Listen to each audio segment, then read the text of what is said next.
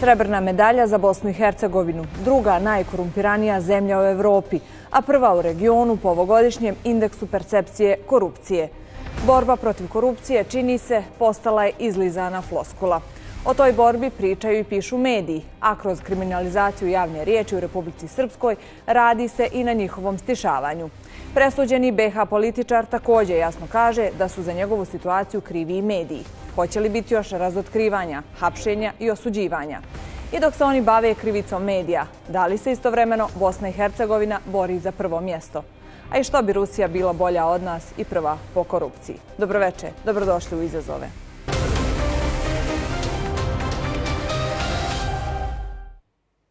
Obično u emisiji Izazovi imamo tri gosta, ali večeras imamo samo dva.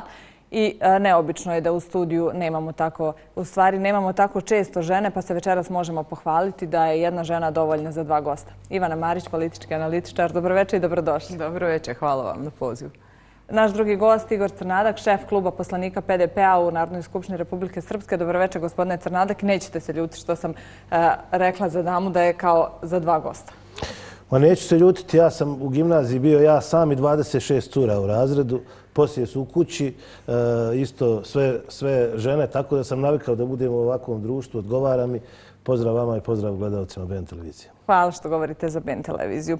Gospodin Marić, krenut ćemo naravno prvo od dame. Ono što je nekako posljednjih dana vijest o kojoj se najviše priča je da je gospodin Novalić dobio da ide u zatvor na četiri godine. Je li to možda početak i otvaranje e, i dobar primjer Eh, da nekad postanemo pravna država?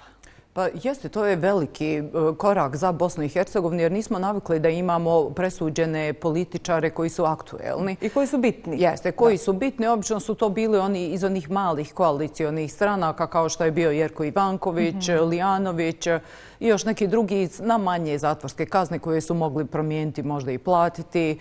Ovo je prvi put da neko ko je aktuelni političar, ko je podpredsjednik SDA, ko je zastupnik, u parlamentu, da ne zaboravim da je na američkoj crnoj listi i da je dobio četiri godine zatvora, što znači ne može i gubi i zastupnički mandat i mnoge druge beneficije kada već ima takvu presudu. Na ovaj način pravosuđe je poslalo jasnu poruku političarima i ovo je ono za njihovo otrežnjenje, da vide da ne mogu baš sve raditi što hoće, da nisu oni iznad zakona, kao što to neki vole i tako se i ponašaju i vole reći, počevši od Dodika koji evo i on se poskliznuo pa i on završio sa, sa optužnicom za sada, ali vidimo da, da im jasno da se nešto promijenilo na pravosuđu. Voljela bih reći da je to najviše do nas zasluga, ali mislim da ipak do više do međunarodnog faktora. Smo vidjeli u kojoj mjeri se Amerikanci interesuju upravo da se nekako riješi ovaj problem e, korupcije i organiziranog kriminala, jer su shvatili da je to u stvari najveći problem BH društva. Ne znam da li ste pogledali intervju u kojem je gospodin Novalić e, govorio i pričao da su krivi mediji zbog toga što je on e, dobio ovu kaznu i da će on istirati, kako je rekao, ovo do kraja. Znači, nema i dalje priznavanja te krivice i dalje negiranje i dalje su krivi drugi ljudi. I mediji zato što su prenijeli, zato što su to objavili, a i samo aferu respiratori, to je krenulo od medija. Ali to nije za osudu, to je valjda dobro. E, jedino za osudu ovdje je što su mediji dali prostor presuđenim kriminalcima da iznose svoje, e, neke svoje stavove i neke činjenice koje oni smatraju da su bitne, a koje nisu iznosili, ako nisu bili dovoljni pred sudom da dokažu njihovu nevinnost, ne znam zašto ih onda javnosti mhm. donose. Ipak imamo pravosuđe. Ne bi bilo dobro da prepustimo sada javnosti da odlučuje o svačijoj kazni. Ako želi i to možda da ukinemo sudove pa da ostavimo onako da narodski nekako se to radi i u tome je greška medija što je dala prostor i njemu i drugim presuđenima da iznose neistine i da nekako zavaravaju građane i unose malo zabunu. Pa da li je moguće? Pa kako pa sada kad lajk počne da komentire, analizira presudu. Što se tiče e, presude, znači mediji ne mogu biti krivi za presudu, ali mediji jesu da kažem, ne kriv, već je njihoga zasluga mhm. što su otkrili ovu aferu i to je ono pitanje da li bi pravosuđe i da li bi druge institucije otkrile ovu aferu da nije bilo e, novinara koji su tu počeli da traže i da, da istražuju i našli određene stvari. Evo vidimo kako je to završilo i to nije znači krivica, već upravo zasluga medija i e, vidimo koji je njihov značaj e, u društvu i koliko je bitno da se nadopunjuju pravosuđe i mediji. Jeste li pratili proces suđenja i sve to što se dešavalo i ta razna svjedošćenja i kako smo čitali i usjene, čak i advokata i prijetnje i e, sudije koje su bile umješane u to i zabrana nekima da svjedoče svjedoče. Kako to ocjenjujete? Pa to samo dokazuje koja je bila bahatost njihova i koliko su oni mislili da su oni iznad zakona, da mogu tako da se ponašaju. Sada evo kada pratimo suđenje, upravo da evo napravim paralelu i sa Dodikom, kada kažu nepoštivanje suda nije želio da ustane mhm. kada su to tražili od njega i onda se to u federaciji dočkao kao jao pa to je strašno kako kako neće ustati, ne poštuje, iako on imao to neko opravdanje, koliko god to može proći, a onda vidimo šta se dešavalo u ovom procesu i da nije bilo takvih osuda. Znači, mora se poštovati sud, suci, kompletno, znači i svjedoci i svi koji su uključeni u tu, jer time sam pokazuju svoje ponašanje i svoje manire i pokazuju kakvi su oni a nekakvo je e, pravosuđe i jednostavno mora im, mora im se staviti do znanja da ne mogu se tako ponašati, jer posebno kada, su uključena, kada je uključena javnost, kada mogu pratiti suđenja što se moglo, E, to, to je jako loša poruka i umanjuje vrijednost i mhm. nekako značaj pravosuđa i svih e, uključenih. Ako vidimo da je nekako optuženim kriminalcima dozvoljeno tako da se ponašaju prema sudijama. Gospodine Tornado, kako vi komentarišete ovaj najnoviji slučaj? Pa prvo, e, mislim da polako postaje jasno svima da dolazimo nismo još tamo, ali dolazimo polako u vrijeme kada zaista niko neće biti zaštićen pred zakonom. I to je apsolutno uh, prioritetan stav kada govorimo o temi korupcije. Borbe protiv korupcije je značaja za narod. Uh, ono što je uh, loše, o čemu mi u Republici Srpskoj govorimo godinama, to je da je ovaj režim koji predvodi SNSD uh, napravio dvije vrste problema kada je u pitanju kada je u pitanju korupcija. Jedan je problem pljačka. Dakle, svi vidimo da su stotine i stotine miliona, milijarde izvučene iz, iz budžeta, na raznim nivoima budžeta. Međutim, onaj veći problem, po meni je veći problem, možda neko misli drugačije, ali po meni je veći problem što su oni napravili atmosferu da eh, je eh, lopovluk u politici sada potpuno generalizovan. Eh, lopovluk u politici je postao prihvatljiv. Vi danas izađete na ulicu, vama će, kad napravite neku anketu, ljudi reći da, pa, pa političari, oni moraju krasti. To je valjda danas normalno. Lopovluk je u politici, zahvaljujući tome kako oni radi, normalan. A taj nivo prihvatanja da je lopovluk u politici normalan je razornih razmjera. I zato smo ovdje gdje smo sada. E, ono što, je, što ljudi moraju također da shvate, da se korupcija u zemljama poput naše, nismo mi jedini tu daleko od toga, ali posebno u zemljama poput naše korupcije je uvijek vezana za e, nacionalističke i populističke politike i retorike. Uh -huh. I ono što mi moramo da uradimo što prije da se izvučemo iz toga, E, da se izvučemo iz jedne, e, iz, iz jedne te demagogije iza za koje je uvijek korupcija. I da e, konačno promovišemo, evo mi o tome govorimo ovdje u Republici Srpskoj, to, za, to važi za cijelu Bosnu i Hercegovinu, odgovornost, slobodne institucije, slobodne ljude. Dakle, evo vam jedan primjer samo kod nas u Republici Srpskoj. Imali smo suđenje bivšem premijeru Aleksandru Đombiću. Optužen da je 20 miliona maraka oštetio Republiku Srpsku jer je dao neki kredit koji se nije nikad vratio. To je dakle 20 miliona e, koji pripadaju ovom narodu koji sada gleda ovu emisiju, koji su otišli u vjetar, odnosno u nečije džepove. Suđenje je provedeno, pravosnažno je presuđeno da on nije kriv. Okej. Okay isti dan kad se to desilo, premijer Višković morao je da podnese novu krivičnu prijevu protiv NN lica tužilaštvu i da kaže vidjeli smo presudu suda, nije Džombić kriv, podnosimo novu prijavu, morate utvrditi ko je, ko je kriv. kriv. Neko je kriv što je 20 miliona otišlo iz budžeta u privatne džepove. Jel mislite da je to SNSD uradio? Vlada da je to uradio? Nije.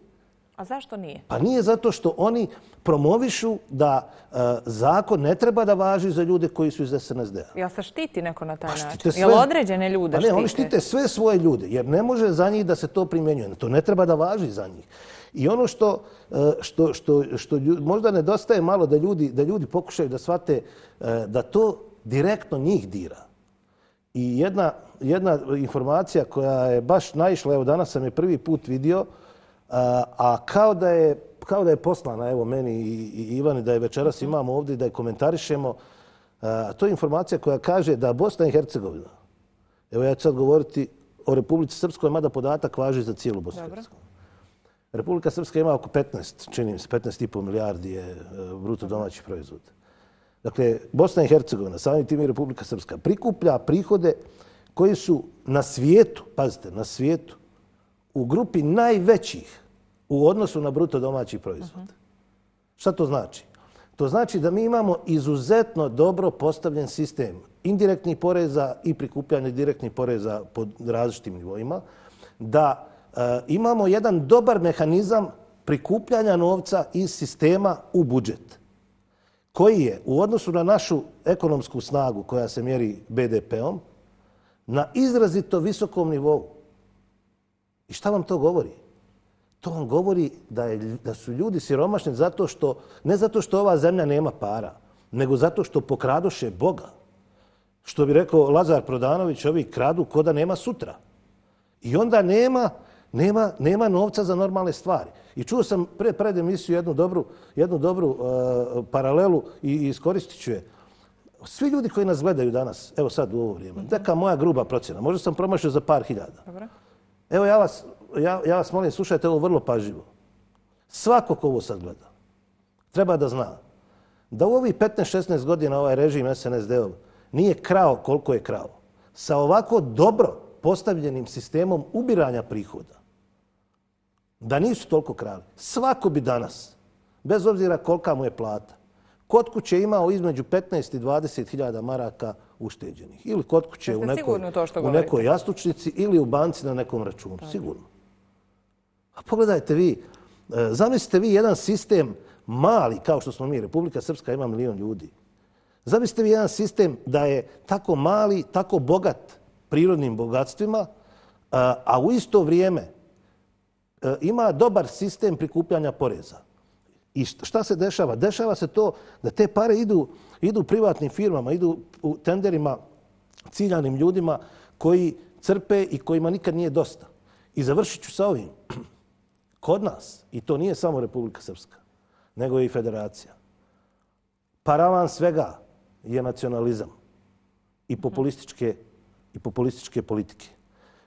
Ima uh, jedna lijepa, neću je citirati, možda ću promašiti malo, ali parafrazirat ću, akademika Vladimira Kostića koji je rekao uh, sreo sam dosta tih profesionalnih patriota i znam jednu stvar, njih se treba čuvati veoma su opasni ljudi.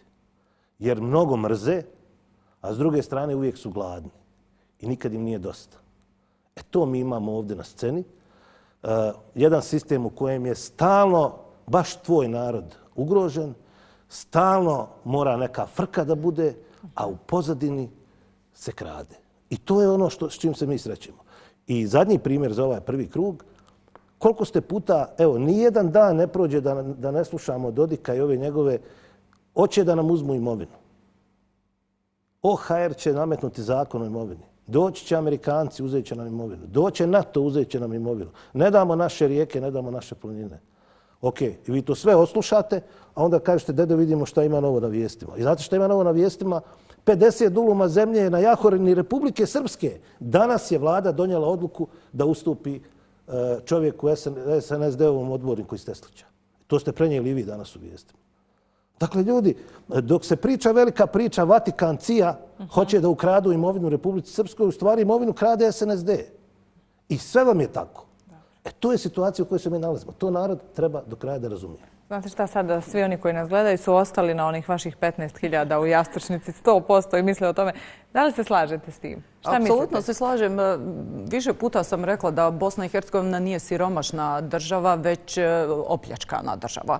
Jer ovo što je Igor rekao, znači mi imamo sasvim dovoljno novca da bismo mogli pokriti sve e, one troškove koje imamo od socijalnih davanja, od podrške poduzetništvu i sve ostalo, ne govorim za penzionere, za mlade, za stipendije, vi samo kada pogledate dobre lokalne zajednice, kako one funkcionišu i kako one mogu pronaći novca za sve.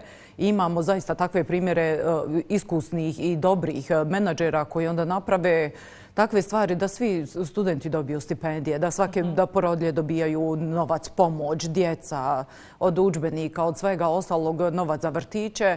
I onda se pitati pa šta je sa drugim općinama koje nije razlika u prihodima, već je više u tome ko koliko krade. E sad to kada prenesemo na, na više nivoje, tamo je više onda krokodila u toj bari i više njih želi da uzme. I uh, upravo ovo isto što Igor rekao je to dok on nas zabavljaju nacionalnim pričama, mhm. dok nas kao zavađaju dok ono stalno upiru prstom u neprijatelji i stalno smo mi nekako na prozoru gledamo ko će izvana doći da, da, da, da, ne znam, da napadne kuće, oni iznutra su sve iznijeli iz kuće. E to je ta razlika što, što apsolutno što ljudi nasjedaju i na sve tri strane mm -hmm. narodi, nažalost, nasjeda na njihove priče, a pogledate samo ko je najbogatiji, koliko i kojim iznosima se mjeri njihovo bogatstvo. Nije to da oni imaju sto hiljada, to su znači milion, to su stotine miliona i opet su i dalje gladni. I opet uh, izađu pred građane kojima i sto maraka veliki iznos, veliki je novac i mhm. oni izađu onako čista obraza sa svojih stotinama miliona im govore kako oni njih razumiju, kako treba se braniti što od ovih drugih nacija, što od evo, napada izvana. A u suštini jedini neprijatelj su nam ti predvodnici naroda, jer su oni najviše i ožalostni narod i opljačkali narod i unazadili državu. Vidite gdje se mi nalazimo, evo čak nismo uspjeli biti prvi ni, ni po korupciji, tu nas je Rusija pretekla. Ali čudi me da Dodik to nije proglasio kao uspjeh ovaj, mhm. Rusije, da je pretekla ovaj, Bosnu i Hercegovinu ponovo. vidimo da da smo dobri samo po tim nekim negativnim pokazateljima i da jednostavno ne znamo da se nosimo s tim korupcija jeste veliki problem, čak i za razvijene zapadne demokratije i ne može se to tako lako pobjediti zato što svi koji su uključeni u to imaju određenu korist. Pa niko nema korist za to prijavi iz mhm. tog kruga kao što nema oštećene strane među njima i ono uvijek mora biti neko sa strane, a lakše je ovaj, njih potplatiti ili na neki način ucijeniti. Tako da to se mora nekako rješavati i vidimo da je se krenulo sa tim ovaj e, slučaj i presuda i za Novalče i ono što je još značajnije, znači ovo hapšenje predsjednika suda i e, mhm. bivšeg e, direktora obavještene sigurnosne agencije. Kada vidite koji je u stvari vrh tog nekog pravosudnog sistema, institucija, koliko su oni umješani i umjesto da podržavaju, da daju prostor uposlenicima da rade kako treba, oni su ih nadgledali kako bi sakrili dokaze. Onda vam bude jasno šta se dešava i što mi nemamo tu institut da neko podnosi ostavku zbog nečega zato što... Mi baš nemamo tu kulturu podnošenja ostavke, apsolutno ni u kom slučaju. Zato što mi sve prepuštamo političarno. Znači mi njima vjerujemo i to je tako. I nemamo da se borimo za bilo šta.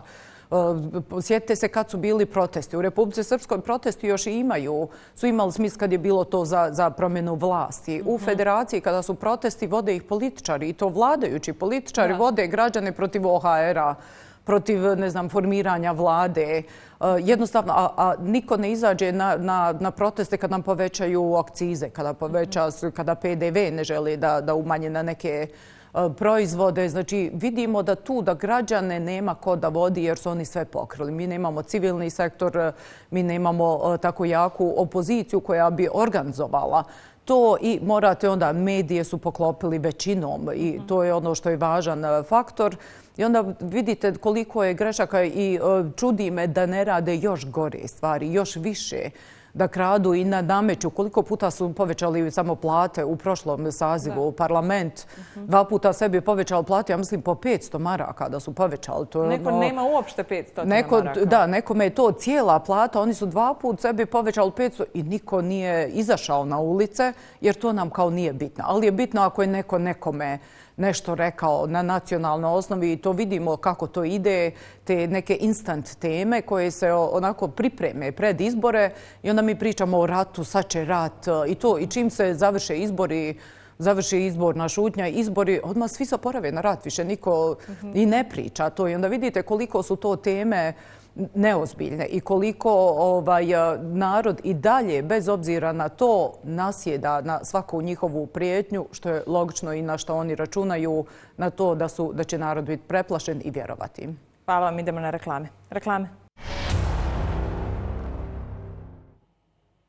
Nastavljamo emisiju Izazovi. E, krenuli smo sa tom pričom respiratori korona. Kod nas je također bilo slučajeva vezanih za koronu nekako su se brzo zaboravili. Jeste li se nadali, kada je bio slučaj kod nas korona, kada je uhapšen gospodin Zeljković, da neće ostati na tom? To je bila jedna sitna riba u tom moru, da će se možda naći neke krupnije ribe. Jeste li se nadali tome?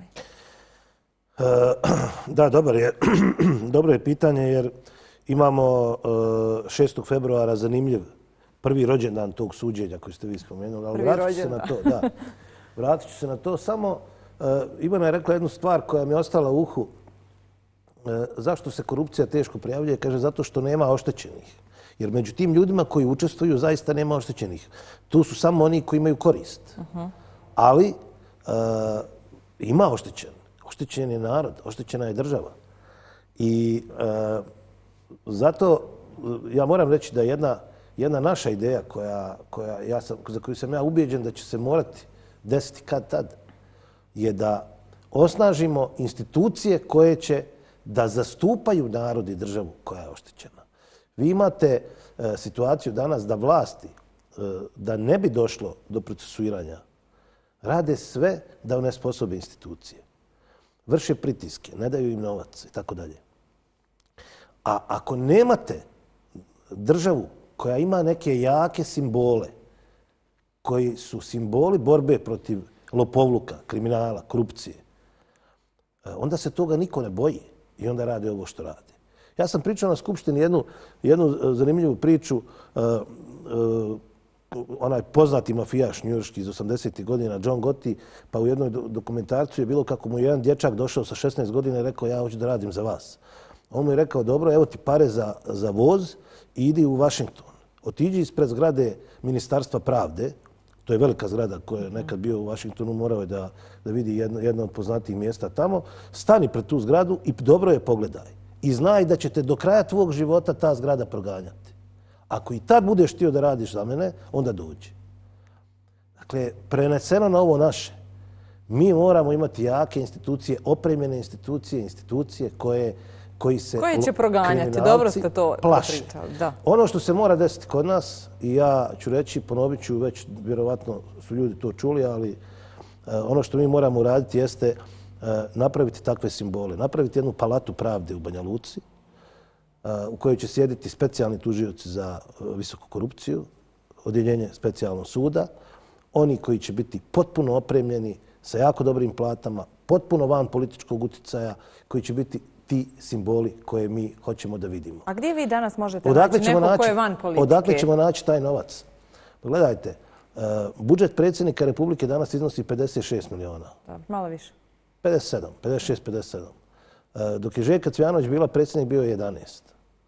Znači, uh, uh, to je sasvim dovoljan. I to je previše, ali evo nek ostane 11. Dakle, 45 miliona za jednu godinu više. Ako uzmete jedan mandat, to vam je 180 miliona. Ti 180 miliona, nova vlast koja dođe u Republici Srpskoj, će potrošiti samo na to da osposobi institucije koje će se voriti protiv kriminala. Znate li vi koje pritiske trpe da se vratimo na vaše pitanje? Napravite jedno istraživanje, vidite malo kako, kakav je život i kako rade ljudi koji učestvuju u procesuiranju kriminala u, u Republici Srpskoj. 6. februara će biti prvi rođendan suđenja Zeljkoviću i to njihovoj ekipi. I dokle smo došli za godinu dana? Mhm. Nigdje. Ništa se ne dešava. A jesmo li mi to malo zaboravili? Pa nismo zaboravili, narod to zna vrlo dobro, prati, očekuje. Ali uh, vi nemate i ono što ja zamjeram, ja sam, ja sam išao afirmativno prije neki dan i pozdravio sam izjavu uh, kolege Konakovića, ali nisam dobio odgovor. On je rekao, ljudi koji kradu za vrijeme korone nisu normalni ljudi, niti su normalni lopovi. Dok vam je narod zaključan, ne smije izaći iz kuće, a vi kradete i slažete pare ko Baja Patak. Ja sam rekao da, u pravu je Konaković, ali to mora da važi za Republiku Srpsku. Izvinite što vas prekida, Novalić je rekao da su mediji rekli da premijer koji je dužan da ih štiti, da ih zapravo krade. Meni je to bilo zanimljivo. On je okrivio medije zbog toga, ali u stvari to je jako zvučna rečenica. Neko bi trebalo da vas štiti, a on za to vrijeme krade. To je možda taj pokazatelj. Pa, ali ne, ja vam sad kažem, ja očekujem da to bude princip koji važi za sve. I ja mislim da uh, mi moramo da dobijemo epilog i svojih korona nabavki ovdje. Ali ću vas podsjetiti, premijer Višković, koji je uh, vremenom postao najveći zaštitnik mutnih kriminalnih poslova u Republici Srpskoj, što donedavno nije bio njegov uh, zaštitni znak, uh, i dalje svom snagom brani i ne da nam podatke o korona nabavkama, ne da nam podatke kako je potrošeno 50 miliona za Srpska Open turnir, ne da nam ugovor za autoput Banja Luka Prijedor. Šta god e, imate sumnjivo, vlada to štiti. Evo, najnovija stvar, IRB, e, onih 130 i nešto miliona e, e, kredita koji su nevraćeni Republici Srpskoj, oni su prodali za 30 miliona nekom funkcioneru DNS-a ovdje iz Bijeljine. I sad logično je, mi smo tražili da nam kažu, ok, prodali ste, koje su to firme? Oni kažu, nećemo da vam kažemo. Nećete da kažete koje su firme. Pa nije to vaše ljude, to pripada ovom narodu. I vi kroz sve to vidite u suštini da e, borba protiv korupcije ne može da krene sa ovom vlašću. Evo, govorim sad o Republici Srpskoj. Ne može da krene s ovom vlašću jer su oni godinama direktno u to uključeni i tražiti od njih da napadnu korupciju bi bilo da tražite od njih da napadnu i procesuiraju sami sebe. I zato e, to treba svima da bude jasno i da, da, da, da ne bježimo od činjenice, da ne bježimo od činjenice da ovdje imate potpuni, e, kako bih rekao, potpunu, potpuni, e, kao ljepilom spojene kriminal i državu. A to je ono što je najopasnije. E, vi se svi sjećate ja ću podsjetiti još jednom na riječ pokojnog premijera Đinđića e, za tadašnju Srbiju. A bojim se da je to ono što mi imamo danas u Republici Srpskoj, da svaka, e, svaka država ima, ima svoju mafiju. A da samo, samo, samo mafija u Srbiji ima svoju državu tada. Mhm. Čini mi se da je tako danas kod nas u Republici Srpskoj. Malo prije gospođa Marić rekla kako se korupcija ne može tako lako iskorijenti. To je svima jasno. U svim državama postoji neki nivo korupcije. A vi stalno spominjete nova vlast koja će doći, uradit će to i to. I ja sam se stavila u kožu gledalaca pa vas sad pitam. Može li nova vlast obezvijediti da bude, ne mora biti 15.000 svakom kući, ali može li biti neke ušteđevine? Možete li, vi imate li neku ideju kako stati donekle u kraj toj korupciji? Naravno da imamo. Pa naravno da imamo, ali kako da vam kažem, nemojte, e, ne, moramo pokušati svi zajedno da narodu približimo to da priča o korupciji i drago mi je što ste to stavili u, u uvod emisije. Uh mhm. -huh. E, priča o korupciji nije floskula. To je stvar koja se tiče ljudi na dnevnoj osnovi. Korupciju, našu korupciju ovdje, korupciju vlasti, narod trpi svakodnevno. I to što sam vam rekao, da bi danas svako imao između 15 i 20 hiljada maraka kod kuće ušteđenih, to je naravno e, neki preneseni način. Neko bi mhm. možda umeđu vremenu kupio auto, pa ne bi imao te pare. Da, neko bi imao 60, neko 10, razumijem. Ali u toj vrijednosti. I to nije nikakva laž. To nije nikakva fatamorgana. Ako vam, još jednom ponavljam, kažem vam, ako mi na najefikasniji i najorganizovaniji na svjetskom nivou način prikupljamo poreze uzimamo poreze od privrede i od naroda, onda je logično da se ovdje živi mnogo bolje. Ali ne možete vi kada, e, pa nemojte sad da izgubimo čitavu emisiju da pričamo o, o ugovorima, tenderima, e, prointerima i svim onim čudima kojima inače pričamo. Vi ovdje imate sistemski postavljen, organizovan, e, organizovano izvlačenje novca iz budžeta na svim nivoima. Koliko bi vam vremena trebalo da otkrijete sve te namještene tendere, sve te ljude koji uzimaju mnogo više novca nego što bi trebalo? A pa nemoguće, vi nikad ne možete doći do svih, to je sasvim sigurno. I oni koji to rade računaju sa tim. Valjda neće baš mene uhvatiti, ali država mora da krene. I imamo dobre primjere. Imamo dobre primjere iz najbližeg okruženja. I iz Hrvatske ranije i iz Crne Gore sada. Pogledajte samo ko je sve pao, kako se to kaže, u Crnoj Gori. Od predsjednice Vrhovnog suda preko ministara, direktora policije i tako dalje. Mislim da sam u jednoj vašoj emisiji ovdje nedavno, pa zbog tog nisam ponio ponovo da to ne ponavljamo, ali mislim da sam ovdje baš čitao spisak svih funkcija, ne imena ljudi, nego funkcija u Hrvatskoj eh, sa kojih je neko otišao u zatvor. Znate koje su to funkcije? Sve. Nemate u Hrvatskoj ni jednu funkciju gdje neko nije bio u zatvoru. Nijedno, evo, probajte vi naći sada. Uh -huh ministri, predsjednici e, skupština lokalnih, e, šefovi futbalskih klubova, e, razni direktori agencija i tako dalje. Dakle, država mora da postavi sistem i da se zna... Ali kod nas toga nema. Bilo je optužnica, bilo je privođenja, bilo je suđenja, pa ali kod nas nema optuženih. Koliko sam shvatio, mi ćemo u drugom dijelu emisije malo da pričamo i o evropskim integracijama i utjecaju ovoga. Pa neću da sad miješam odmah s tim. Ali evo, kad vi kažete bilo je optužnica, da li da li znate koliko je bilo optužnica u Republici Srpskoj za korupciju u 23. godini? Koliko prilike, onak 5, 10, 20, 50? Puno. Nula. Nula. Šede na nula. Znam da je bilo nula. Pravili smo da vam kažem.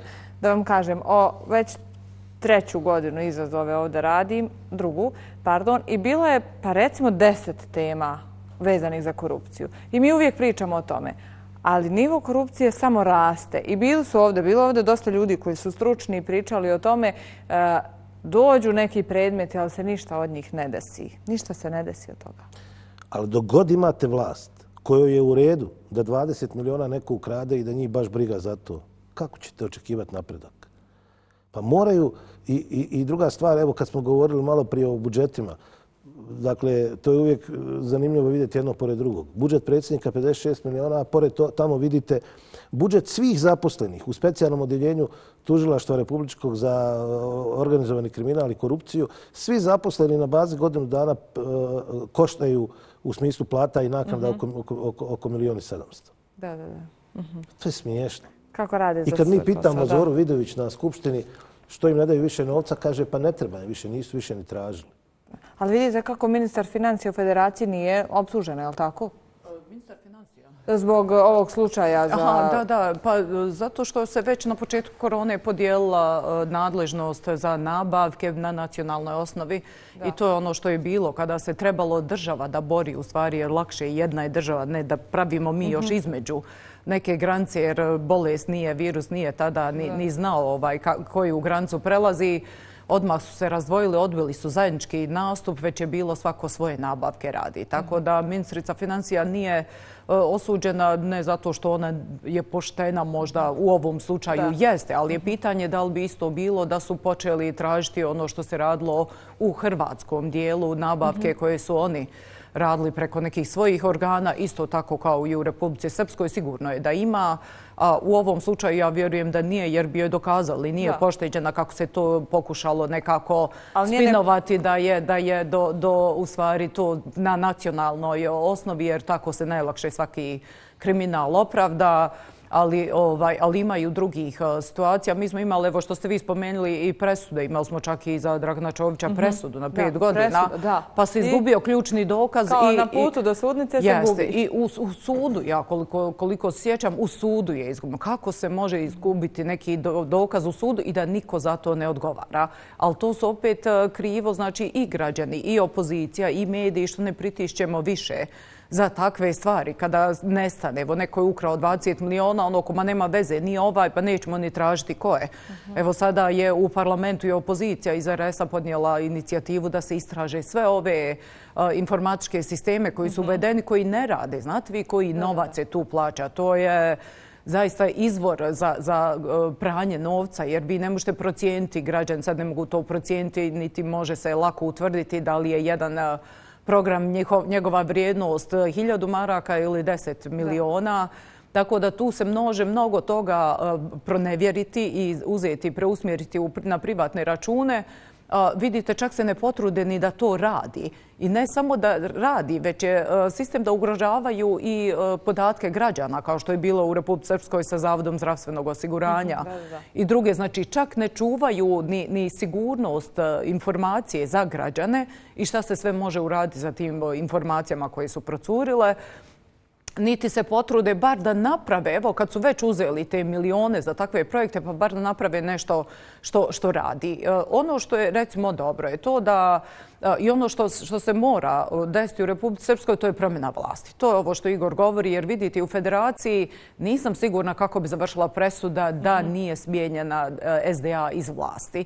Vidjeli ste ko bi ostao i dalje direktor obaveštajno-sigurnosne agencije i ko bi imao prvi informacije o svim planiranim e, e, akcijama i hapšenja i pred istragama i ostalo. Znači, pitanje je šta bi bilo... Desilo se neke stvari od promjene vlasti. Da, e to kažem, to mora se desiti promjena vlasti. I ono što je zanimljivo, što je neko iz opozicije u federaciji rekao, da im je bilo zanimljivo koliko su sve podataka o kriminalu našli i u institucijama i u kompanijama javnim, jer kao oni nisu vjerovali da će ikad sići vlasti. I toliko su ostavili i dokaze, nisu stigli sve zapaliti. Vidjeli smo da je se i to radilo, jer su toliko bili ubjeđeni da će ostati. E, sada se vidi šta, zna, šta radi opozicija. I ono još što je bitna stvar u federaciji, to rade sa e, federalni uskok po, po uzoru na hrvatski uskog specijalna tužilaštva u svim e, institucijama, u sudovima specijalni odjeli upravo za borbu protiv korupcije. Ja prošla vlast, znači za osam godina nisu ništa po tom pitanju uradili jer nisu mogli da pronađu odgovarajući prostor. Znači osam godina nisu mogli da nađu prostor gdje bi se to moglo desiti i niko to nije radio, mi ništa od njih nismo tražili i evo sada se ponovo to aktiviralo.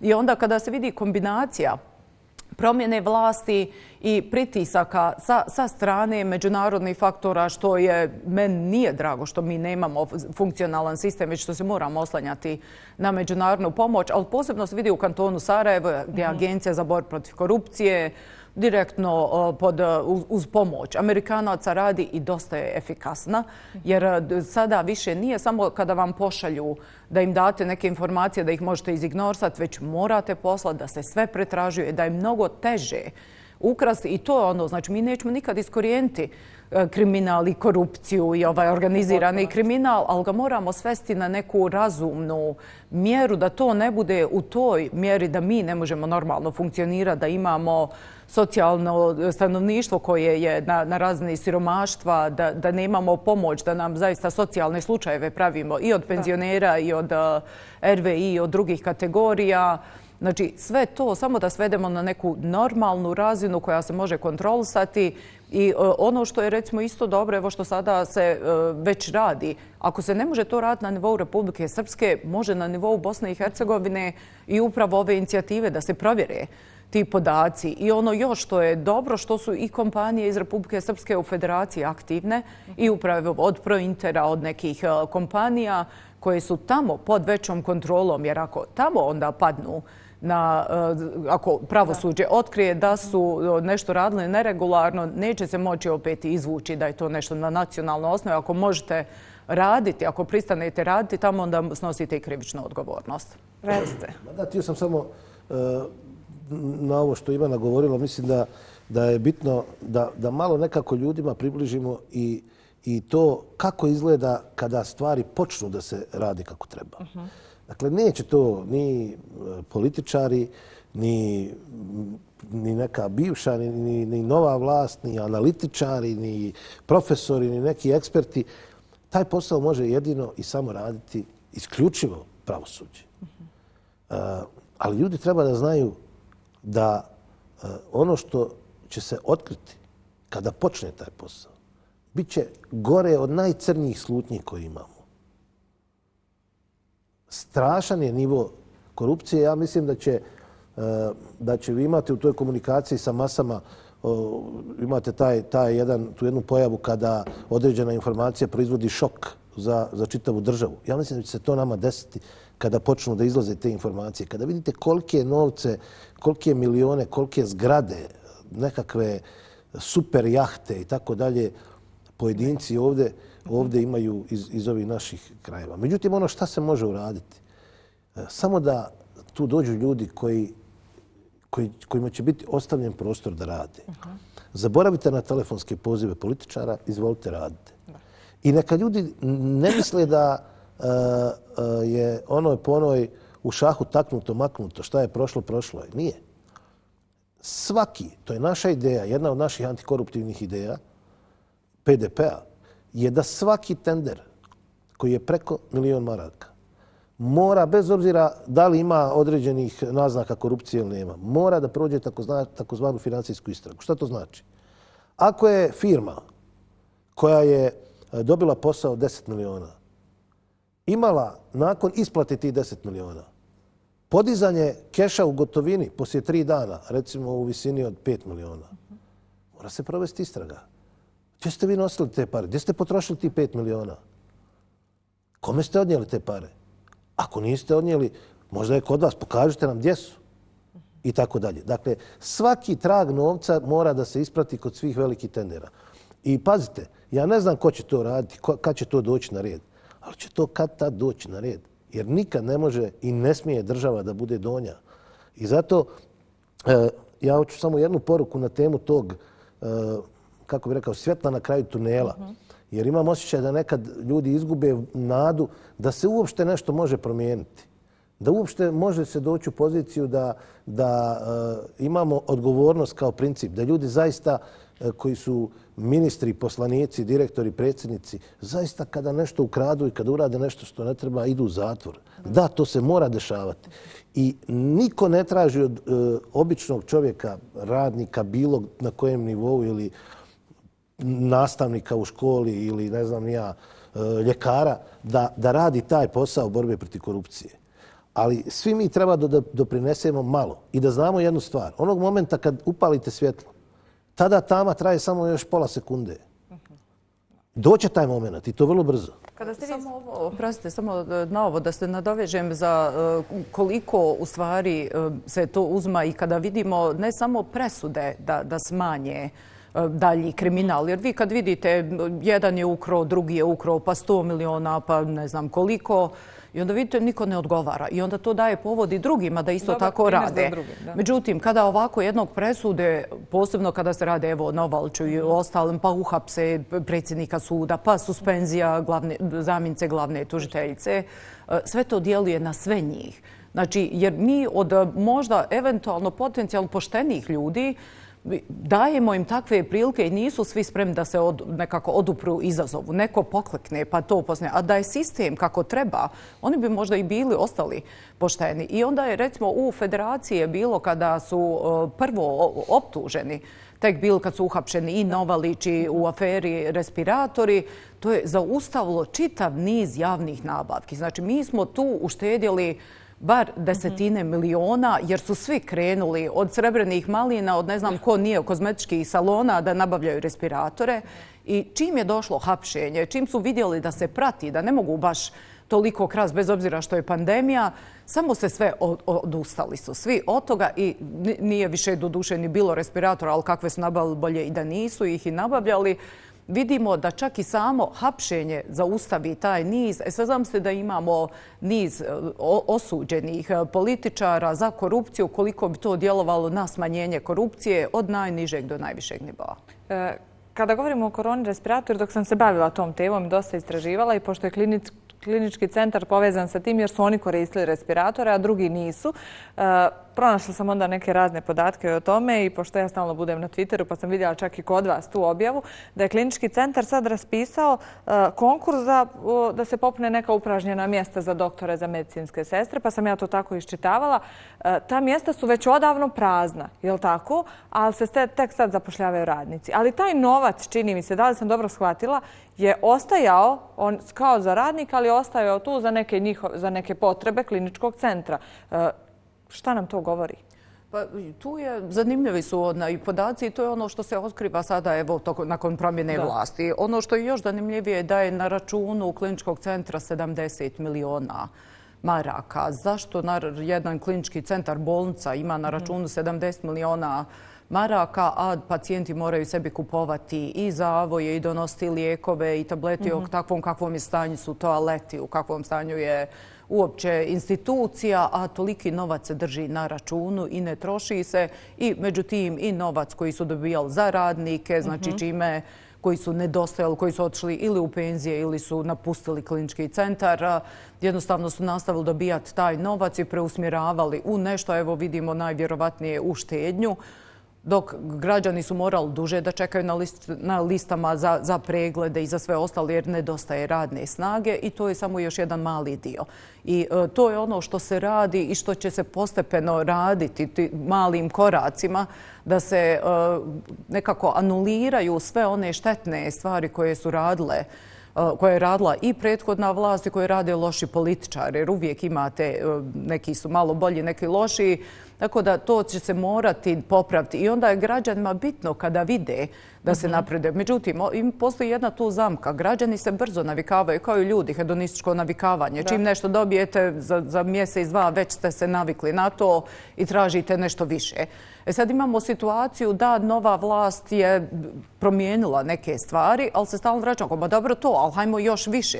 Pa je recimo bio paradoks u federaciji da je za fond solidarnosti prethodna vlada izdvojila 20 miliona, u stvari sadašnja vlada, u prošloj godini 20 miliona za fond solidarnosti, a prethodna vlada nije ništa izdvajala.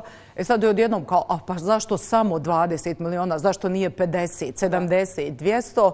Znači, treba priznati ono što se uradi dobro, ali treba kritikovati i dalje. Ne stalno kao, evo vidite, nismo zadvojeni, ham se mi vrat na ove stare, zaboravili smo šta su radili, posebno tokom e, pandemije i e, sve ostalo, na koji način su ponašali se prema građanima i eh, kakva je e, finansijska situacija. Kada pogledate, evo kad prođete, Bosnom i Hercegovom kad vidite toliko pustih mjesta i toliko ljudi se iselilo, ne zato što su željeli, već zato što nisu mogli ovdje nekako organizovati svoj život da mogu da žive pristojno. E, spomenuli smo te sitne korake u federaciji, ali opet velike i značajne. E, iako nije bilo promjene vlasti u Republici Srpskoj, vidite li kakve pomake? Vidite li neke promjene na bolje? Pa e, ne vidi se, e, apsolutno nekako ne vidi se promjena. Znate šta, meni je jedan podatak e, onako zapao za oko kada sam vidjela potrošnja za crni petak. Mhm. Kada svi smo mi skloni nasjesti na te trikove, pa evo mhm. jeftinije 50 posto 70 u federaciji je potrošnja bila deset puta veća nego u Republici Srpskoj. Nije baš da smo mi sad toliko rastrošniji, mhm. već to jasno pokazuje finansijsku situaciju. Naravno, ne može se pored potrošnja u federaciji, recimo sa Hrvatskom, vjerovatno i tu neki odnos da je deset puta više. Vidite da je to jasan pokazatelj standarda. I ono što je zanimljivo u tome je da je taj podatak prošao ispod radara. Jer da mhm. su mislili da će to neko primijeti, on bi to retuširao, nešto bi oni to revidirali, napravili, rekli ma i nije preveli zašto je to tako, našli i tu možda neko objašnjenje u naciji, u religiji. Međutim, tu se vidi koliko je loš standard i koliko se to mora popraviti s ovim silnim zaduženjima koje je Dodik eh, zadužio. Republiku Srpsku nije ni čudo da traži imovinu. On je ne traži imovinu za građane, već da bi mogao dalje da da, da je troši i da on raspoređuje njome. I to je ono što što građani moraju da shvate da ko radi u njihovom interesu, a ko ne radi, koliko je novca u njihovom novčaniku i na njihovim računima, koliko novca u onima koji se zaklinju u patriotizam, u, u naciju, u religiju. Takve stvari ne rade religiozni ljudi i oni vjernici. Oni gledaju da svima bude podjednako dobro, a ne da njihova porodica i oni da imaju novac koji neće potrošiti za deset života, ih ne bi potrošilo dok se neko pati, dok preživljava, razmišlja može li dijete poslati na fakultet, da li će imati da finansira i ne sam fakultet, možda čak i mhm. ovaj u osnovnu školu. Jel vi vidite nešto dobro u Republici Srpskoj? Ali budite iskreni. Pa ja bih volio da mogu da kažem da vidim, ali recite mi šta? Šta je dobro? Evo sad ste, sad ste čuli Eh, ovo, podsjetilo me na podatak. Ja kad sam prije neki dan vidio, zaista vjerujte da mi je bilo eh, neka mučina u stomaku prije, neka muka prije bilo, bilo čega drugog. I to ne kao političara, opozicijalnog, nego kao kao eh, građanina Republike Srpske, stanovnika Republike Srpske koji ima djecu koja ovdje studiraju, koja će ovdje da žive i dalje, koji veže svoj život samo i jedino za Republiku Srpsku. Podatak kada sam vidio da i Liđa pravi daleko veći promet godišnje od Banja Luke. Znate li šta je Liđa? Mislim, da se ne mhm. ljute. Znam, znam nekoliko ljudi od tamo. Znam nekoliko ljudi od tamo, ali mislim... Uh, ili, uh, recimo, prošla je potpuno bez, prošla je potpuno bez neke uh, velike pompe informacija da je, evo, ispravit će me Ivana ako sam pogrešno razumio, da je vlada donijela odluku da isplati 2500 maraka svim zaposlenim jedno, jednokratno, odnosno u dva, u, dva, uh, u dva dijela, ali ukupno 2500 maraka. To sad još jedan dodatni podatak za ove vaše gledalce uh, što su šokirani s početka emisije da nemaju 15-20 hiljada. Još traže 15 hiljada. Kod kuće koji su trebali da imaju, evo sada im i to kažem. Trebali bi da imate vi koji ste na budžetu još 2500 da živite u federaciji. Ili treća stvar. Pa mi smo rekli, e, e, zanemarite velike priče, ali isti dan, isti mjesec na berze izlaze Republika Srpska i Federacija. Mi se zadužujemo po 6,5%, a Federacija po 3,5%.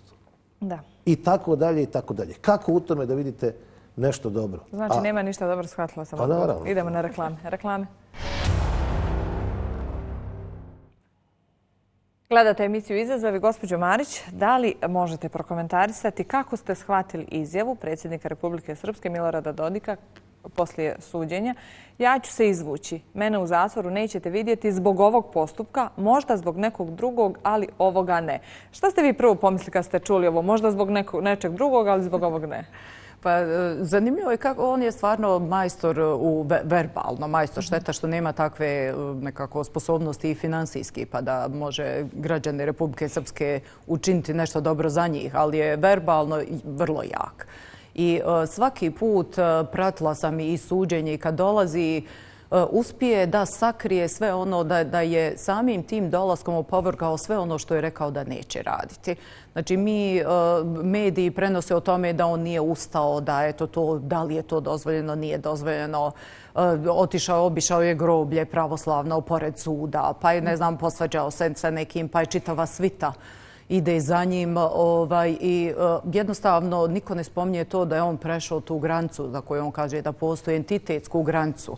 Došao je na sud Bosne i Hercegovine koji ne priznaje po zakonu koji je usvojio visoki predstavnik kojeg on isto tako ne priznaje.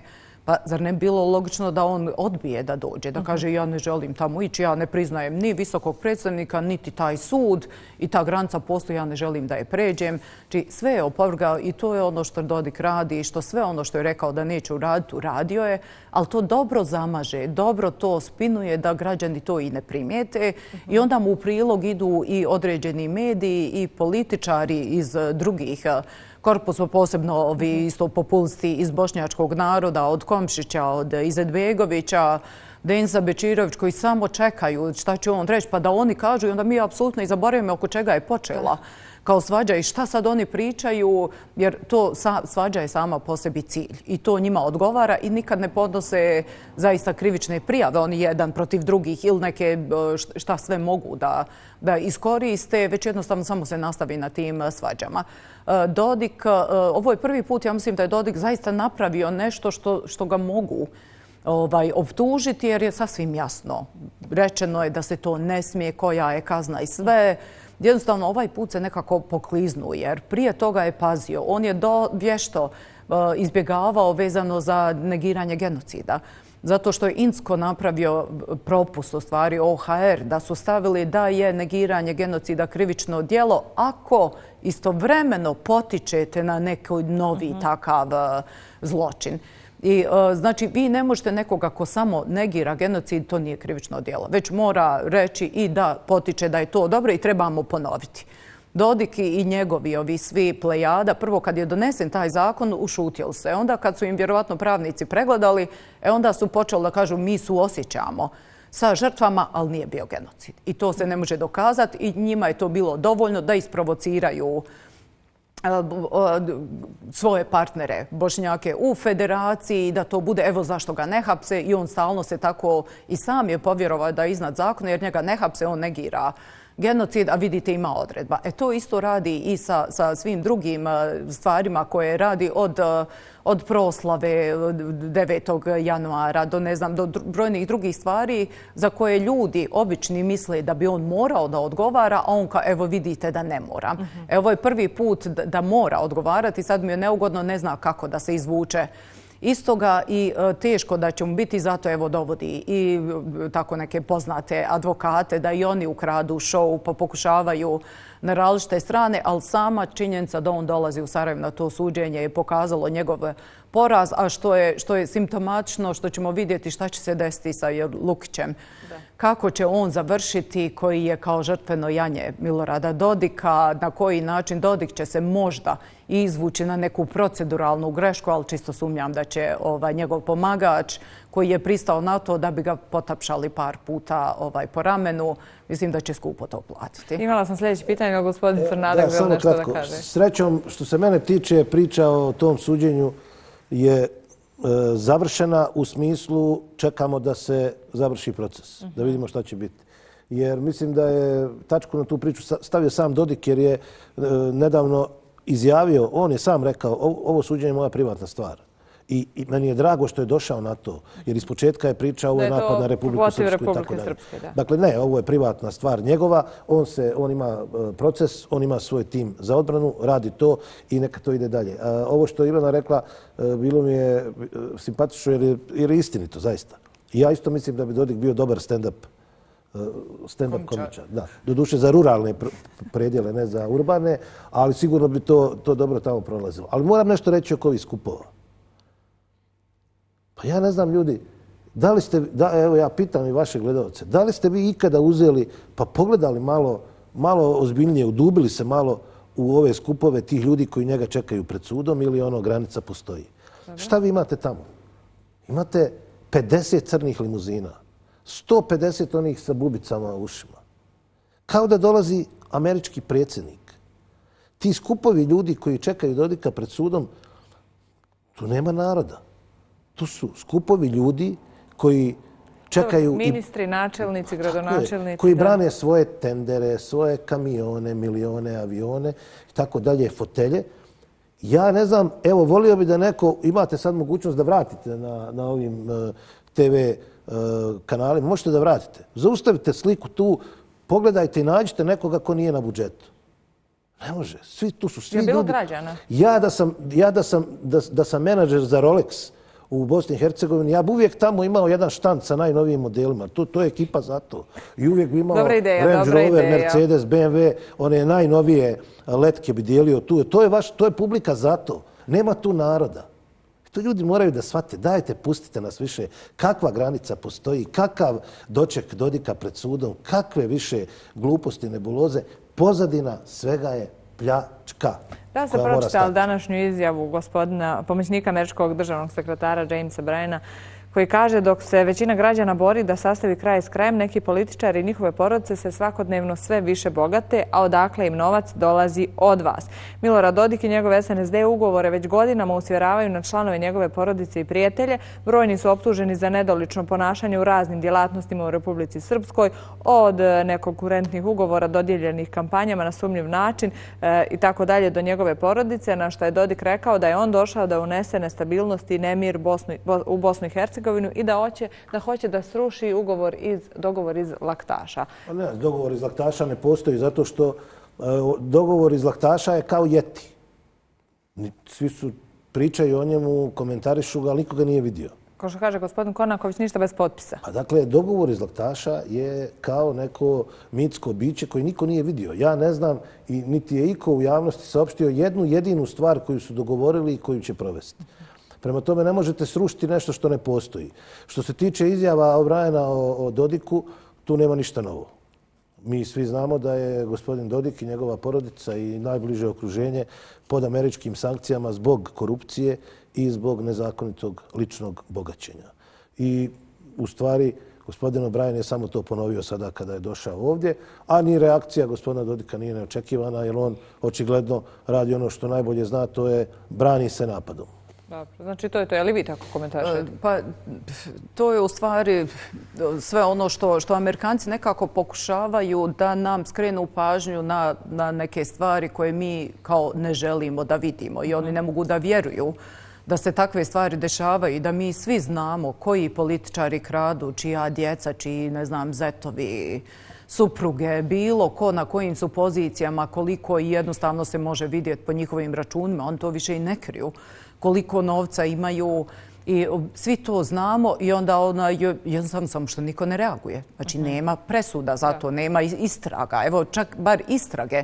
Pa da imamo istrage nekih od tih koliko je 50-60 kompanija koje su dovođene u vezu sa Dodikovom porodicom, pa postoji istraga i za jednu kompaniju, pa da krenemo negdje, pa makar da, da ono ko Al Capone, ono, na utaj poreza, da na taj način, ili evo recimo ova stvar je zanimljiva što Igor rekao, hajde što su došli da podrže Dodika. Prvo, zašto idu oni kao podrška Dodiku? Druga stvar, to je tokom radnog vremena.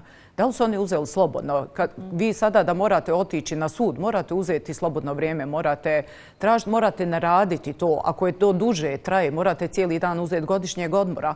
Koliko je njih tamo kojima mi plaćamo to što su došli i njihovim tjelohraniteljima i svim ostaloj toj pratnje. Znači, koliko mi novca izgubimo na svakoj njegovoj uh, ovom uh, sudskom procesu. Znači, koliko novca mi plaćamo da oni sjede u sudu. Mi ih ne plaćamo da sjede i njega podržavaju, moralna podrška, da ga za ruku drže dok njemu sude. Mi ih plaćamo da rade svoje poslove i moral bi da ih rade. Da li će neko od građana sam uzeti godišnji odmor pa doći ili ne radi pa će doći da podrži Dodika, ali to su one stvari na koje mi treba da ih lovimo, a ne radimo. Znači, na ovim njihovim putovanjima u federaciji se isto postavljalo pitanje i za Novalča i za Jelku Miličević da li su uzeli slobodan dan. I mislim, nisam sigurna da li je iko od zastupnika postavio to zvanično pitanje u parlamentu da se traži da li on svaki put kada je išao na sud uzimao slobodan dan kao što to moraju svi ostali uposlenici da radi. Znači, na tim stvarima, kad krenemo da ih onako češkam sve ono jedno po jedno da češljamo, šta se dešava, gdje su prevarili od svakog putovanja, od ne znam, Bisera Turković je prošli mandat na Maldivima deset dana, ja mislim, bila. Niko to, evo bio izvještaj revizije, da li je neko tražio da vrati novac, šta mi imamo, šta smo dobili od te posjete. Nismo ni hurme dobili, bar smo ovo iz nekih drugih država. Znači, mora se na takvim stvarima što imamo na papiru, pa onda možda dođemo i do nekih većih e, afera njihovih. Mi smo razmišljali, e, kad su krenula ova okupljanja, da idemo s ovim pitanjima. Ali moram vam reći, nije nikakva, nije nikakvo karikiranje, nego stvarno je tako. Mi smo došli do zaključka, prvo smo mislili da napravimo od toga temu. Pazite, imate predsjednika vlade, recimo, e, imate predsjednika Narodne skupštine Stevandića, imate Košarca i ne znam, razne druge ministre. Ajmo napraviti temu kako može premijer Republike Srpske, kako ima vremena da čitav dan provede pred kapijom suda. I da tamo sjedi, stoji, čeka čeka da dođe predsjednik, pa onda kad uđe unutra čeka da on završi unutra, da izađe, da stoji iza njega dok daje izjavu, pa onda ide kući. A što niste? Pa nismo smo shvatili da su oni da manje štete nanose kad su pred kapijom suda nego kad rade svoj posao. Ne, manje će uzeti para drugi. Em će manje krasti, em će manje napraviti nereda problema. Mi bi voljeli najviše da Stevandić, Višković, Košarac i sva ta druga ekipa svaki dan budu tamo na onom parkingu. Pa probajte to da im predložite. Ali kako to izvesti, ne znam. Žele li naši političari da se pridružimo Europskoj uniji? E, pa to, naši političari je široko. Ja sam političar. Vlast, ja, ja želim. vlast, vlast, vlast. E, Želite li vi? Ne, ja, ja svakako želim. PDP, to hiljaditi put govorim, tri godine poslije rata počeo da se formira i tada, kad to nije bilo popularno, kad je čak bilo kontraproduktivno, smo među pet svojih ciljeva stavili Republika Srpska i Bosna i Hercegovina u Europskoj uniji. Mi iskreno živimo tu ideju. Ideju reda, vladavine prava, da se znaju zakoni, da zakoni važe za sve, da ne može političar telefonom da zove tužioce, sudije i tako dalje, nego da imamo jedan sistem u kojem istinski vladaju institucije u kojem su ljudi zaštićeni. I mi živimo tu ideju, iskreno je želimo. Ono što e, mi danas imamo, nažalost, je da vlast to ne želi.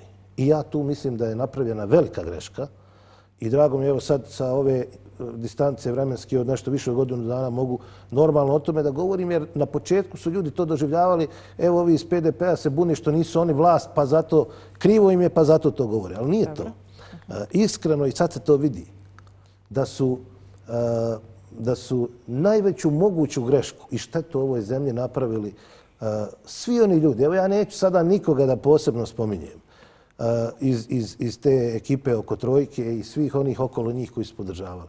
Ali prepoznaću se oni sami. Svi oni, uh, a ja imam, ako zatreba, nećemo to večeras, imamo mi naravno posložene sve te izjave uh, Dodik je ipak evropski čovjek, vratit će se, vidjet ćete da je to najstari Dodik.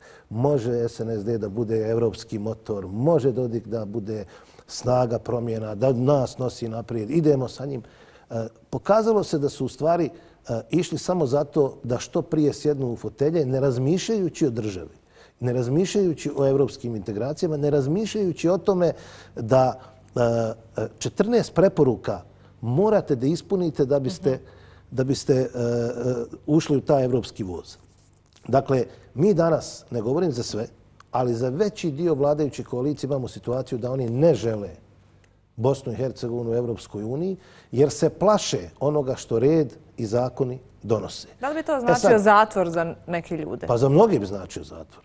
Za mnogi bi značio zatvor. Ali evo, sad da vam kažem, pazite, ono gdje mi upadamo u zamku, to je da pokušava se narodu prenijeti poruka da ako u martu, recimo, ne dobijemo poziv za otvaranje pregovora, kako neki od njih kažu, i iz Sarajeva i iz Banja Luke, to je dokaz da nas Evropa ne želi. Nije tako. Da, da, uvijek se dakle, to Dakle, to nije tako. Evo, ja hoću ljudi da to razumiju do kraja na vrlo jednostavan, plastičan način. Evropa, i imali smo i nedavno posjetu e, predsjednice Evropske komisije i holandskog premijera, e, Evropa kaže da, mi vas želimo unutra. Naš je interes da dođete. Naš interes Evropske unije je strateški da se proširimo i ovdje. Ali imate određene uslove. I to nije neka fiktivna priča. Nije to neka, ne znam kako bi nazvao, nešto, nešto što, što, što je fraza samo. To je istinski tako. I vi onda uh, kažete, ok, pa da vidimo šta, šta, šta treba uraditi. Uh -huh. I onda dođe vam ta izjava, ako nas ne prime, oni nas ne žele. A onda vi pogledate recimo jednu od najvažnijih stvari koja kaže e, vladavina prava i borba protiv korupcije. I slušate naše političare koji kažu srami bilo, dali su Ukrajini. Ukrajini su dali e, početak pregovora, nama ne daju. I onda ja dođem do podatka koji glasi ovako. Ukrajina koja je u ratu u 2023. godini podigla 82 optužnice protiv 203 visoka ukrajinska funkcionera. Republika Srpska nula optužnica protiv nula funkcionera.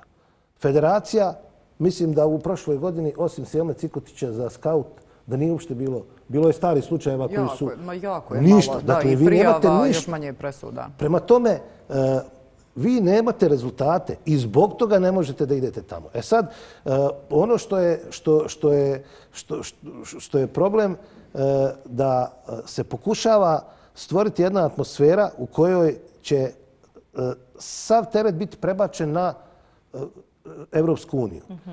Sad govorim samo za Republiku Srpsku. Pozadina je toga da u jednom momentu, kad više ne budu imali izlaza e, kao, kao fol juti, ova SNSD-ova vlast kaže sad mi više nećemo prekidamo put. Jer oni tamo i neće da idu. Samo čekaju momena da, da im, kad im je to zgodno. Pa je li vama normalno? Je li vama normalno da u predvečerje odluke 27 članica Europske unije o početku pregovora Dodik saopštava da ide na turneju e, Rusija, Bjelorusija i, i, i Turska. Samo se čudim da nije stavio Sjevernu Koreju. Možda je bude i to još. To samo me čudi da to nije bilo. Ali evo da ne bude zabune. Ja pozdravljam ta, te njegove aktivnosti. I nek ide na tu turneju. Neka bude i sa tim zemljama saradnja ali je morao da kaže idem tamo, čim to završim, idem i po Evropskoj uniji. Kada smo e, tadašnji predsjedavajući predsjedništvo gospodin Čović i ja kao tadašnji ministar e, holandskom, holandskom predsjedavanju Evropske unije predali aplikaciju za članstvo prije 6-7 godina, ja se vrlo dobro sjećam naših aktivnosti tada. Ja sam sa, sa svih 27 zemalja obavio razgovor. Neki u Sarajevu, neki u tim glavnim gradovima, a najveći dio e, na, na, kao sporednim događajima na nekim međunarodnim konferencijama. Pa to je valjda, ako vam je cilj idete u Evropsku uniju, pričat ćete sa Berlinom, Rimom, Parizom. Onda će to biti prioritet. Dakle, vi vidite da ovdje e, vlast, aktuelna vlast... Možda nema želje. Nema želju za to uopšte, a pokušava da napravi atmosferu da oni kao hoće, a Evropa ih ne želi primiti, što nije tačno. Gdje smo mi na tom putu?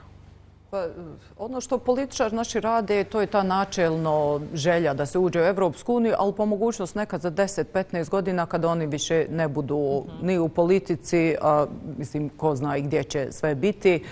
Da vidite koliko već oni pokušavaju, koliko su razvukli naš put. Ja mislim da smo ima evo skoro 20 godina već da, da se krećemo ka Evropskoj uniji. Zadnjih 8 godina nismo se pomakli s mjesta. Evo sada nešto malo.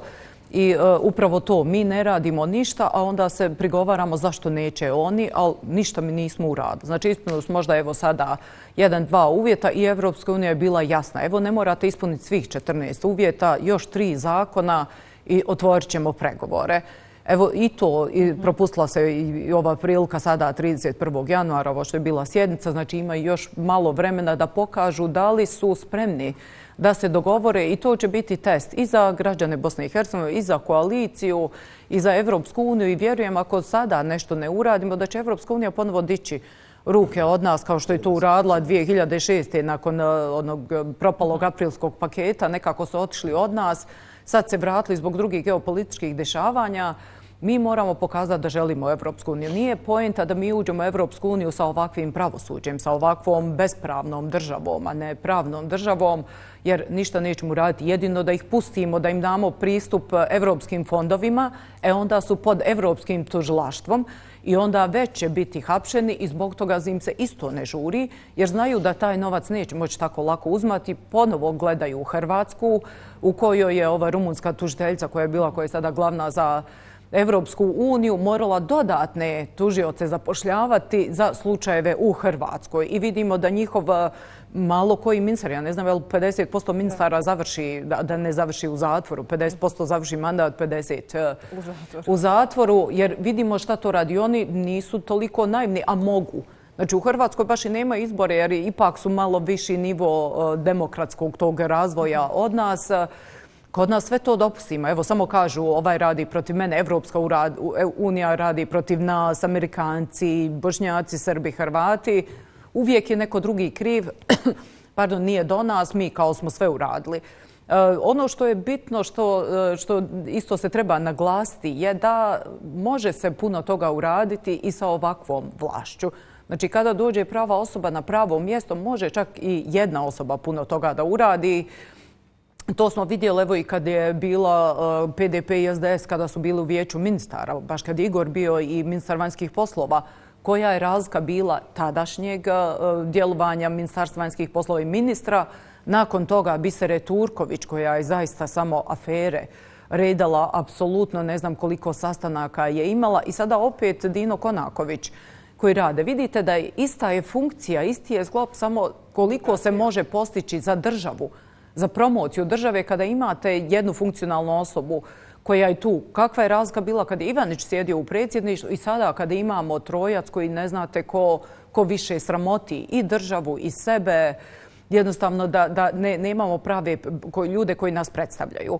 E, zbog toga ne moramo baš puno sada da, da fokusiramo se na Dodika, da kažemo ok, on ne želi nešto, nećemo ni mi ništa. Znači, naše je da pokušamo sve raditi da, da koliko može se u sklapu u ovome u ovom kontekstu koji ima sada političke vlasti Dodika, kako se kažu, ne smiju od Dodika, to smo čuli milijon puta. a, Dodik, a na Dodika se čeka jer Dodik je, je već je nekoliko puta potvrđeno jedno priča u Sarajevu, u stvari jedno priča u Banja Lud, drugo radi u Sarajevu. Koliko puta je rekao neću ovo, neću ono, onda uradi nešto. I opet e, postoje stvari koje su također prošle onako van eh, interesa javno stvari neki dijelovi toga. Kada su zastupnici SNSD-a eh, pisali pismo Evropskoj uniji Americi, zašto oni pišu Evropskoj uniji Americi? Zašto nisu Rusiji pisali? Zašto se obraćaju? Šta? I to u takvim tonom. Evo, mi smo sve uradili, mi se trudimo, nije do nas, evo, oni su krivi.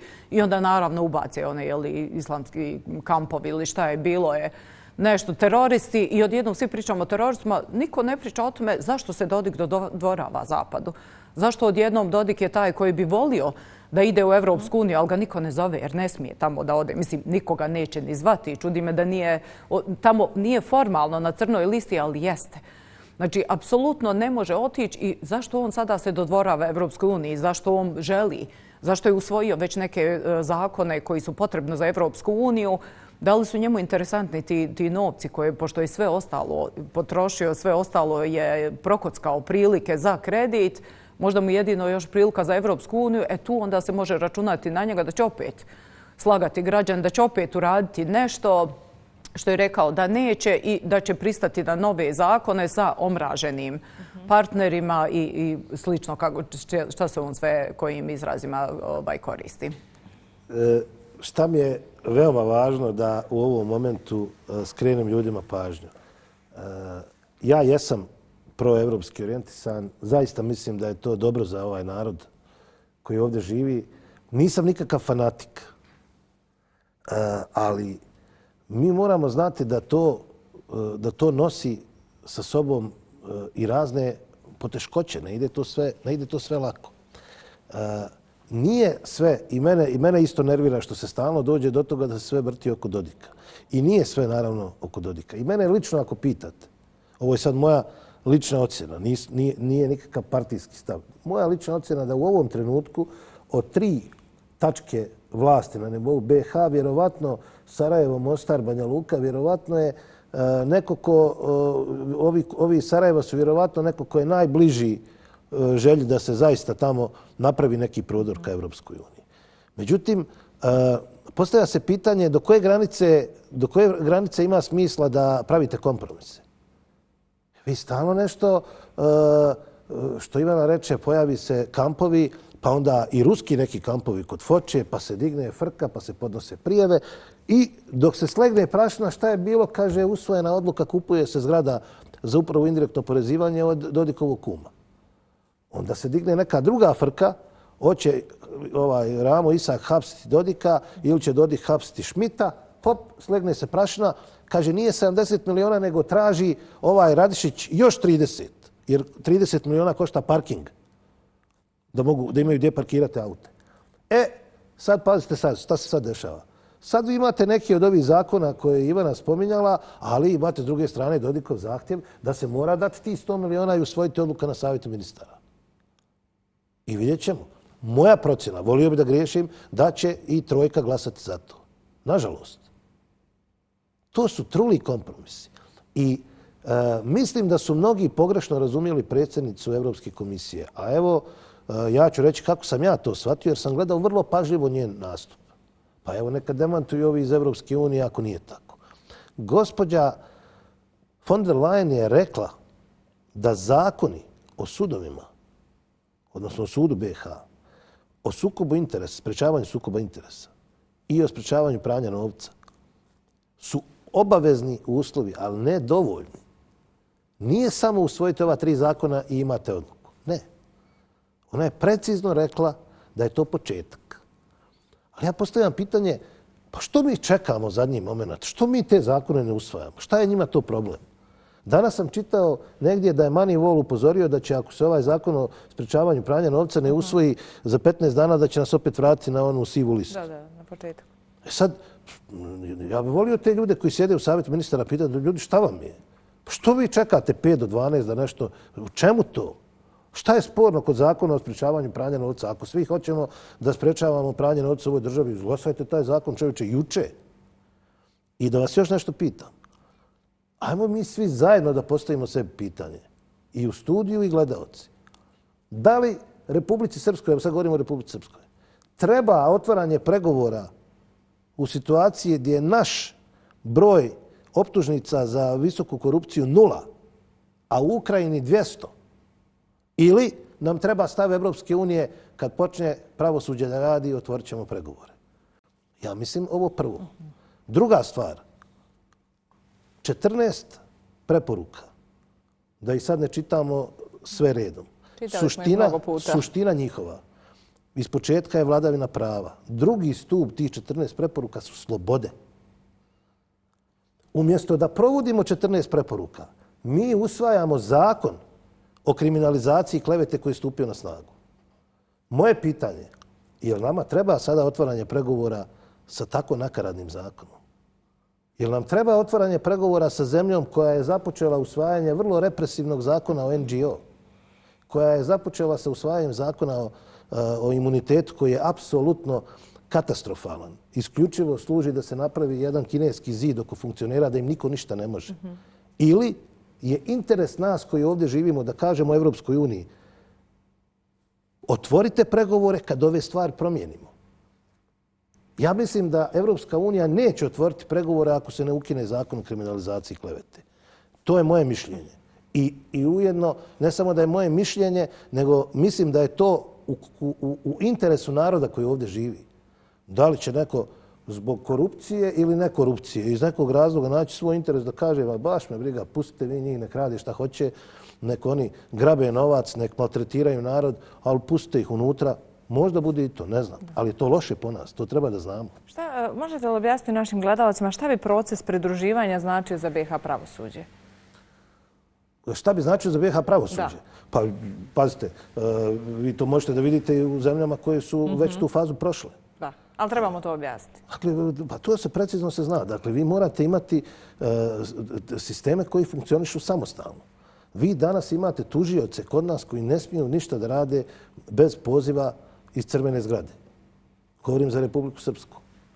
I kad se desilo to hapšenje 16. septembra 2021. To je haos nastao. I ja sam rekao tada, i evo reći ću i sada, iako znam da to nije popularno, ali ću iskoristiti priliku da još jedno pitanje postavim. E, ljudi koji se bore protiv korupcije su heroji. Heroji. Ako odete u Palermo, sletit ćete na aerodrom koji se zove aerodrom sudija Falcone. Zašto? Pa zato što znaju da ih je, da ih je antimafijaška uh, pravosudna ekipa oslobodila najvećeg zla u istoriji e, te zemlje i tog kraja. I zato ti ljudi treba da dobiju najveće moguće poštovanje. Za mene su, naravno, neka niko ne misli da ga guram u drugi plan. Za vrijeme korone ono što su ljekari iznijeli i svi drugi koji su bili na prvoj liniji fronta prema bolesti su također bili heroji. Mnogi ljudi koji pošteno rade svoj posao su heroji u svojim profesijama. Ali su zaista istinski heroji ljudi koji se u ovakvim uslovima bore protiv korupcije. Koji pišu e, optužnice, koji skupljaju dokaze, koji idu na to i pišu sve ono što piše. Jeste vi čitali, e, sad ide 6. februar, objavit ćemo tim povodom mi iz PDP-a Eh, objavit ćemo jer je to sad javni dokument, tužilački dokument eh, tužilaštva Republike Srpske optužnicu u slučaju korona nabavki. Jer vi znate da se tamo, tamo precizno piše novac se dijelio u prostorijama jedne stranke. Piše, to je, pazite, to nije sada da mi nešto izmišljamo ovdje. Novac se krao i dijelio u prostorijama jedne vladajuće stranke. I vi danas imate uh, sve moguće obstrukcije. Hoćete reći ko je za one koje ne znaju? Ma nema potrebe, to stano. Onda, onda, Mislite onda svi znaju? Svi znaju, da. Dobro. Uh, dakle, vi imate danas situaciju da, da, uh, da kod nas, uh, mislim, ali evo, da, da se vratimo samo na ovo, uh, ljudi izgube volju skroz za, čitave, za čitavu tu temu kad vide da je toliko uh, E, se neko potrudio i donio tako e, jasne, velike, e, konkretne dokaze, a da i dalje nema podršku. Zar je moguće da, evo, bar sad, kad je objavljena presuda za Novalića i ekipu, bar sad da je neko u Republici Srpskoj izašao pa rekao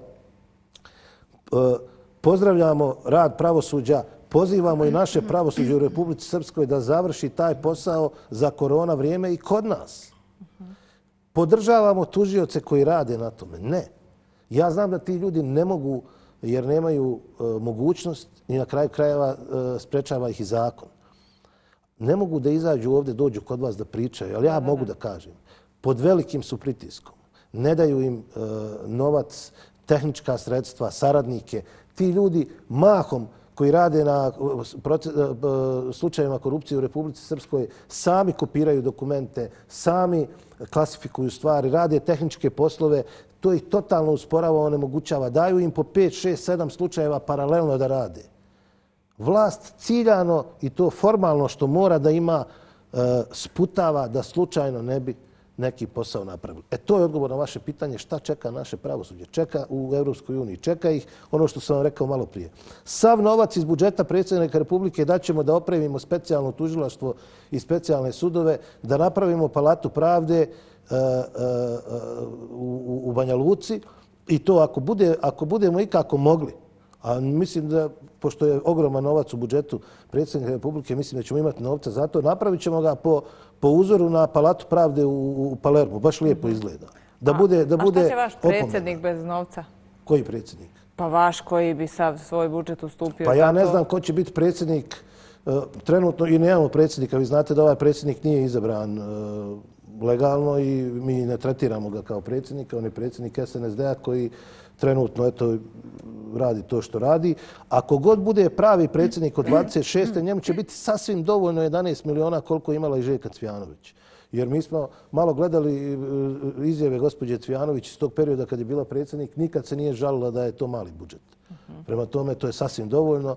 E, predsjednik će imati budžet 11 miliona, a ovi 45 miliona preko ćemo svake godine davati u osposobljavanje tehničko, kadrovsko i svako drugo ljudi i institucija za borbu protiv korupcije.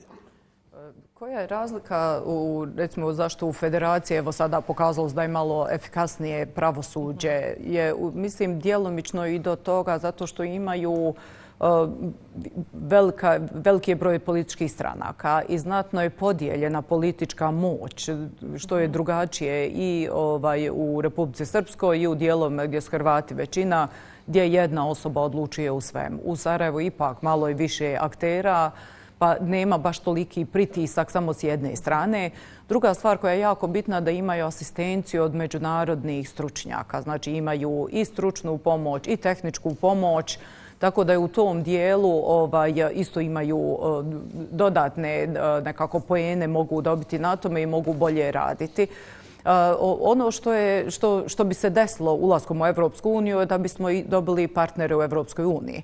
Druga stvar je da bi znači, bilo sa, ovim, sa tužiteljstvom iz Evropske unije da bi mogli da nadziru i situaciju u Bosni i Hercegovini. Pa ne možete baš nazvati nekoga u Evropskoj uniji da lobira prvo što vi naši ne znaju engleski jezik pa bi im bilo malo teško uz prevodioca nekome da prijete. Vjerovatno bi se izgubilo to negdje u prevodu. E, međutim, sam ulazak u Evropsku uniju ne bi ništa donio Bosni i Hercegovini samo ovako. Jer mhm. poenta je da mi ove zakone donesemo koji će stvoriti uvjete da, da država funkcioniše, da je funkcionalna, da nije birokratski aparat, da je nekako se olakša da bude funkcionalniji prava, slobode i sve ostalo i to je onda bismo trebali tako spremni ući u Evropsku uniju. Međutim, Evropska unija nas je pustila znači zadnjih 20 godina jer nisu željeli s nama da se bave pošto su vidjeli ko je s druge strane da nema tu pregovora. Vidjeli smo da se ništa nije desilo. Znači nisu ni donosili takve zakone, ne da ih nisu donosili, već su čak i donosili one koji su još štetniji.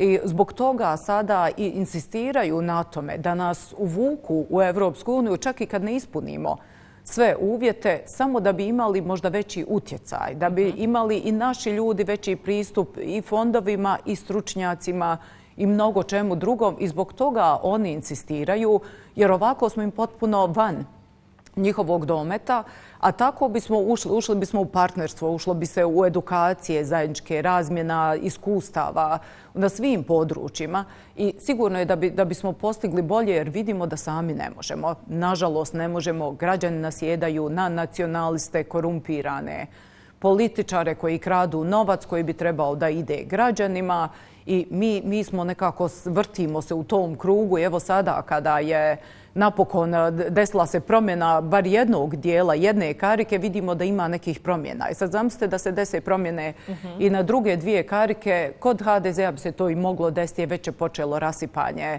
eh, stranke. SDA se dalje osipa. Sa SNSD-om treba vidjeti opozicija da iskoristi priliku da ne bude situacija kao u Srbiji, da zbog razjedinjenja opet držimo i naredni na narednim izborima opet slušamo i dobijemo istog predsjednika. Može li jedna kratka poruka za kraj? Građani samo trebaju da provjere svoj novčanik i da to uporede sa kontom porodice Dodik. Gospodin Crnan, Šta ja mogu samo završiti sa onim što sam počeo, to je znam da nemate ti 15-20 hiljada kod kuće, imali biste ih da ovi nisu toliko krali, ali šalu na stranu najvažnije poruke, niko ne smije biti zaštićen pred zakonom i tada će ovdje biti bolje. I vlast mora da zada ritam. Sadašnja vlast prezire red, zakone i još više preziru one koji na tome insistiraju. E, moraju da daju primjere. Ne možete vi da budete okruženi lopovima, kriminalcima, probisvjetima raznim i, i, i da vodite jednu zemlju. Jer onda takvu poruku šaljete i narodu. Nažalost, i evo, s tim ću završiti, ali oni su, pored ove pljačke o kojoj smo govorili cijelo veče, zapravo stvorili jednu klimu u društvu, poremetili, izvitoperili vrijednosti. Sad vam je e, e, važno što kažu, ima jedan naš glagol koji se ne može prevesti na engleski, kaže snašao se. Odakle mu pare, snašao se. Dakle, oni sada promovišu da je važno snaći se, a to znači neki dobar tender povezati, ti tamo napravi ono, pa ću ti ja dovesti ovog, pa ćeš dati meni toliko, umjesto da promovišu rad, zalaganje, e, ono sve što su prave istinske vrijednosti ovdje sve vrijeme i bile. Hvala vam mnogo što ste bili naši gosti. Hvala vama. Hvala vama. Dragi gledalci, mi se vidimo za tačno sedam dana, a svima vam želim taj novac kod kuće. Ostanite uz program BN Televizije. Vidimo se.